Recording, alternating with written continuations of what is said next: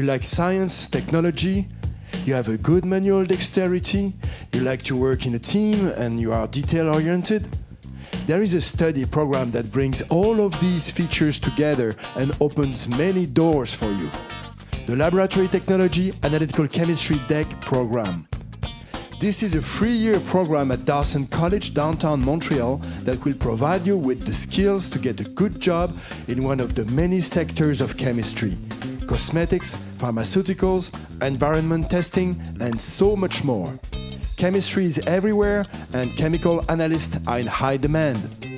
Our program offers many opportunities for internships with up to six months of work experience upon graduation. Come on and join a rich and inspiring student life in a small and engaging program full of opportunities. Admissions are up to March 1st. Check our webpage to register to Student for a Day.